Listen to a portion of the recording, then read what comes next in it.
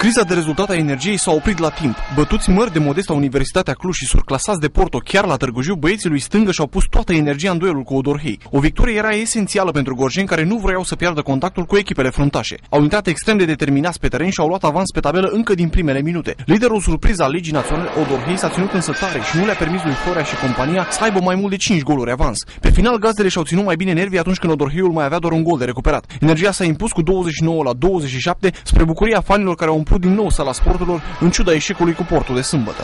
Noi am intrat uh, în impasul ăsta, noi trebuie să ieșim, ne-am mobilizat. Uh, eu zic că am făcut o apărare foarte bună toți, uh, ne-a ajutat și poarta, cu toții am crescut față de meciurile trecute. Împotriva echipei pe primul loc, echipa care a bătut Constanța și Reșița în începutul acestui sezon și uh, suntem bucuroși pentru că am muncit nespus pentru această victorie. Campionatul este lung, a fost și pentru noi o probă de joc de deplasare împotriva unui adversar cu, cu valoare. Mai avem de muncă, am declarat-o tot timpul, astăzi s-a adeverit.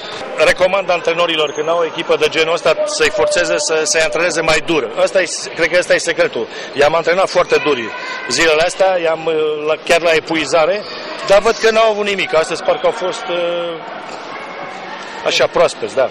După o serie de meciuri foarte slabe, portarul Ionuț Șobanu a redevenit salvatorul echipei și a contribuit decisiv la victorie prin cele 21 de intervenții. Mă bucur că am putut să, să-mi ajut colegii, să câștigăm și să revenim înapoi în lupta pentru primele locuri.